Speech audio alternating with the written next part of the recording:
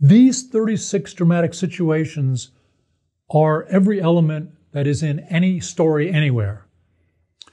And a lot of people said, that's insane. I could come up with way more. And they tried to come up with a list and they couldn't even get to 24. They were like, actually, it's better than I thought. Jeff, can you give us an overview of the 36 dramatic situations? The 36 dramatic situations is really a brainstorming tool. It works with elements that are common in storytelling, like madness, disaster, ambition, those types of things. It was created by an Italian playwright named Carlo Gozzi in the 1700s, and it was endorsed by Goethe and Schiller. And on the strength of those endorsements, it hung around for about 150 years until a guy named George Polti turned it into a book in 1916. And then it picked up some steam again. But it's it's unknown by many people, and I've met a lot of people who said they had the book but could never make heads or tails out of it. It's it's basically what Gozzi said was that all stories consist of these basic 36 human emotional conflicts. And there are things like ambition, madness, conflict with a god, the necessity of sacrificing loved ones. And it's very similar in nature to the periodic table of elements in chemistry, where, you know, carbon, hydrogen, all that stuff. So, with the periodic table of elements, you could describe anything in this room quite completely from one point of view. Like this table is carbon, hydrogen, oxygen, whatever, all the elements that are in it you can describe it quite completely from that one point of view. That's only one point of view, but that's getting right at the elements that are in it. And in storytelling, it's the same thing where you can say, okay, this story has madness, conflict with a god, vengeance taken for kindred upon kindred. Um, and there's different, so different active elements in any given story, which is useful because it helps you when you're starting out with a story where you can, like for instance, let's look at your Derek story idea again. So we'd be looking at what would be, let me just get my book here because it's easy to go down the one sheet. Oh, great. For these. So here's a, a list of the here's a list of the 36 dramatic situations, just listed simply. So, looking at it in terms of Derek's story, so deliverance, rescuing or being rescued, crime pursued by vengeance, pursuit, disaster, revolt, daring enterprise, the enigma, the riddle, or the mystery, obtaining, madness. He may be like losing his mind as being pressed into this dilemma, into like, what do I do here? I'm in love with her. She's offering me a life of adventure, but I have to betray my most core values. But are those core values based on something that were real, or was I snookered into guarding criminals? I don't know. I'm losing my mind. These are all just story possibilities. Some of it is like some of what I was doing were elements that are already active in the story idea before it's even touched. You want to see what you've got. It's like taking inventory like what are the elements that are already active in it? And there may be a lot more than you thought there were which is good. Um, self-sacrifice for an ideal all sacrificed for a passion the necessity of sacrificing loved ones is he going to have to give her up. Rivalry of superior and inferior that's always a good one because it's so subjective. Of like who's the superior and who's the inferior? And it's completely point of view sensitive. And it can even flicker back and forth of who has the upper hand in any given situation. Uh, discovery of the dishonor of a loved one if he's finding out that she is, you know, a criminal. Obstacles to love is very active in this story, but before it's even touched. And enemy loved, falling in love with someone who turns out to be your enemy. Or enemy love can be fascination with an enemy, um, or coming to understand your enemy, or falling in love with your enemy, that kind of thing. Ambition is very central in this story because Derek is stuck in this rut and he has ambitions for more, but he doesn't know how to get there. And she may awaken ambition in him. Or he may have a curious lack of ambition. Like, why don't I care that I'm stuck in this rut? Or why don't I care that she's dragging me down this weird road? So it can be the, the very absence of one of these situations. Like you, if you look at a character's ambition, it may be that their ambition is wildly out of proportion and getting them in trouble, or they could have utterly no ambition, which is out of proportion for a given situation. It's curious and like, why does this person genuinely not care which way they go? So it's like it can be the presence or absence of these things too that can be suggestive. These are really suggestive elements for brainstorming. So you can see that some of what I'm doing here is as I'm going down the list and I'm thinking about this story, it's helping with the what if. I'm seeing what is already there before the story was ever even touched, the elements that it showed up with.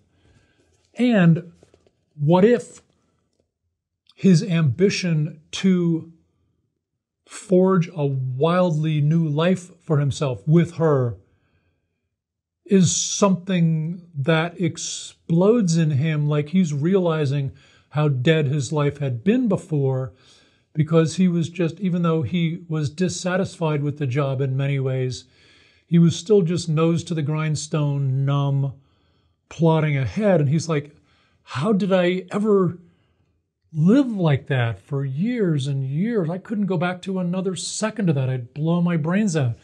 It's like, yeah, she's trouble, but I can't go back to nothing. I can't go back to an emotional vacuum anymore. I kind of stuffed myself into that to forge ahead, but I don't fit in that room anymore. Conflict with a God, that's always interesting because it doesn't necessarily have to have any kind of connotation, any kind of religious connotation. It, conflict with God suggests a religious connotation but it's just anytime there's something going up against a, a bigger power, it could be you versus the neighborhood bully. It could be trying to get, you know, something done against City Hall. Uh, so that it's, these are very flexible. The less literally you take these, the more actual use you can make of them. So you want to have a poetic or metaphoric frame of mind as you look at these. You don't want to be stuck with their actual definitions at all. If you look at one of these things, even if it's not a valid chain of logic, that you look at one of these things and it gives you 10 ideas, those 10 ideas are what's important. This is just a catalyst. In chemistry, a catalyst is something that you throw into a chemical mix and it creates a reaction even though the original catalyst stays the same.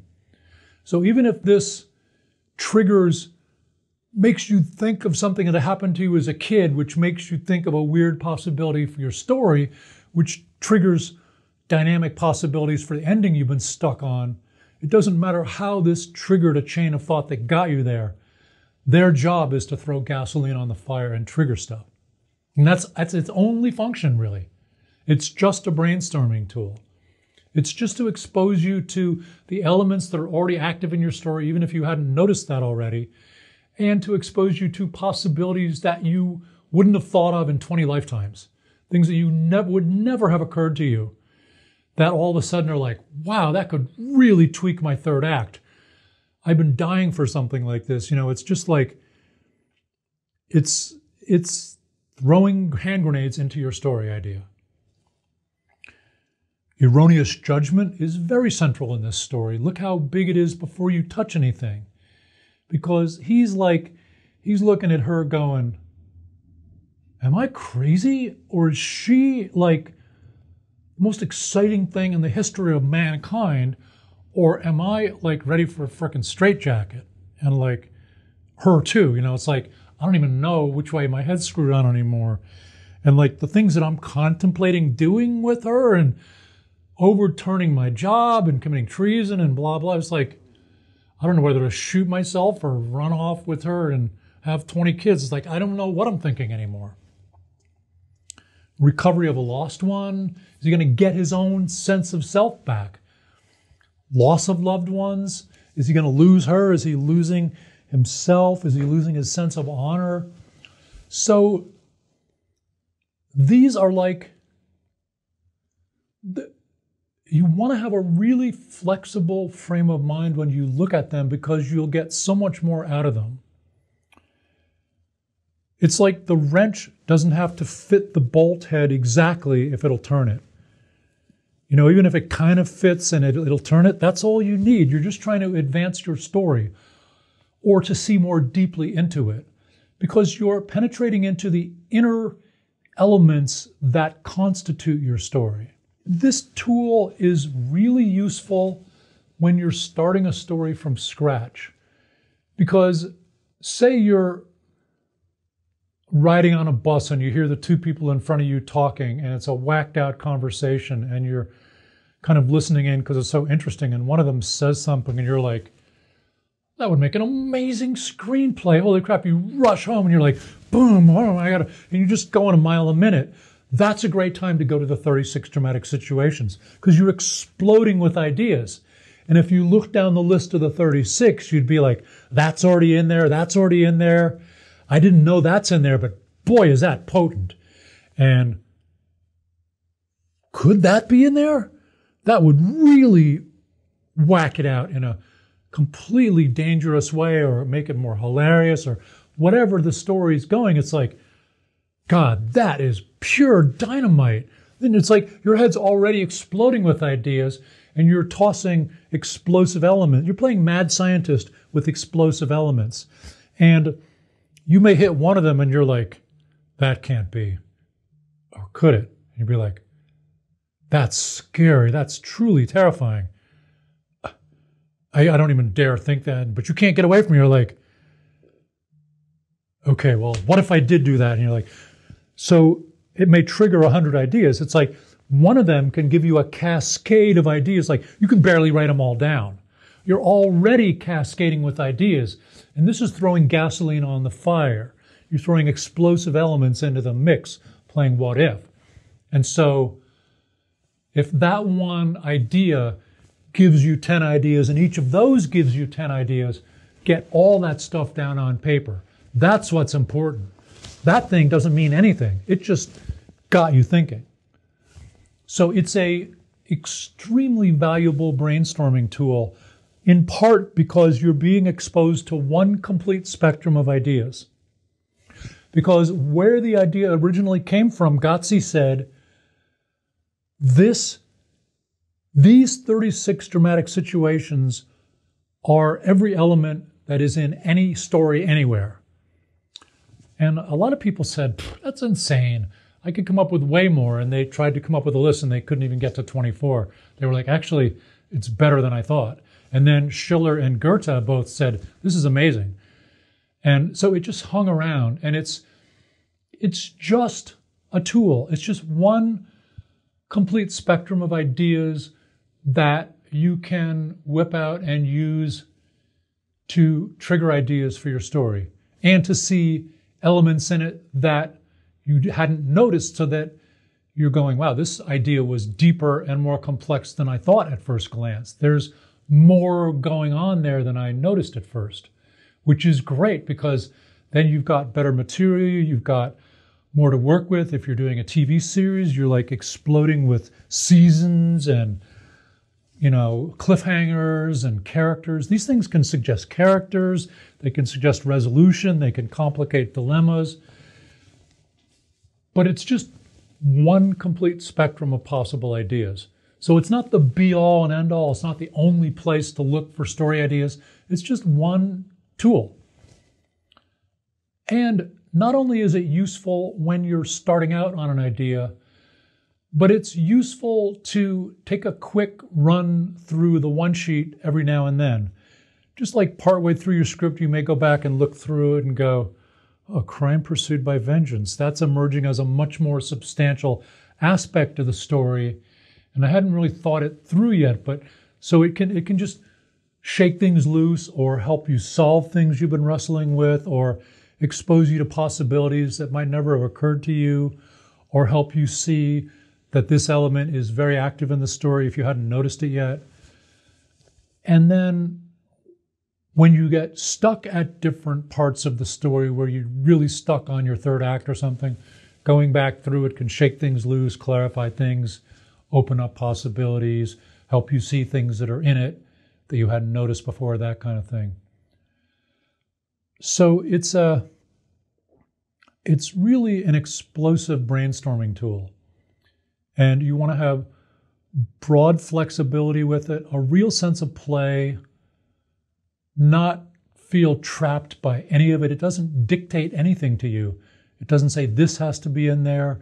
And even if at the beginning of the story you were like, wow, ambition is right at the nucleus of this story, by the time you've worked on it for a while, you may come back and look at it again and be like, ambition doesn't even matter anymore. It's like, I thought that was huge, but it's grown and changed so much. So you're not, it's, it's just, it's just like getting blown in the air by explosives at certain points in the development process to shake things loose, trigger ideas, help crystallize things, clarify things, simplify things, complicate things. And that's all part and parcel of the normal storytelling process anyway. This is just some good chemicals to throw in there that are like fertilizer or clarifying agents or complicators or clarifiers. So you see it in super clarity all of a sudden. Like it can take a while, spend time with the story for quite a while before you get true clarity with it. Like um, Sydney Pollack, when they were working on Tootsie, spent a long time trying to figure out what the story's really about. And it wasn't until it finally dawned on him that becoming a woman made a man out of Michael Dorsey that all of a sudden it like crystallized. You're like, ah, now I know in really simple terms that's what the story's about. And he said, I went back and looked at every scene and like, how does this scene work with, clarify, amplify, solidify the idea that becoming a woman makes a man out of Michael Dorsey?